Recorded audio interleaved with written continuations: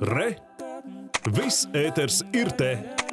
Pirms 140 gadiem šajā dienā pasaulē nāca Alberts Kviesis, pēdējais Latvijas pirmās brīvvalsts prezidents, kuru ievēlēja demokrātiskās vēlēšanās. Nereti kritizēts, jo noskatījies, kā vara kļūst autoritāra. Šodien viņa piemiņu godināja valsts prezidents Egils Levits, kurš uzteica Kvieša nopelnus tiesu sistēmas izveidošanā. Prezidenta Kvieša biogrāfijā atspoguļojas Latvijas vēsture. Demokrātiskais laikmets, protams, valsts dibināšana, demokrātiskais laikmets, autoritārais laikmets un arī okupācijas laiks.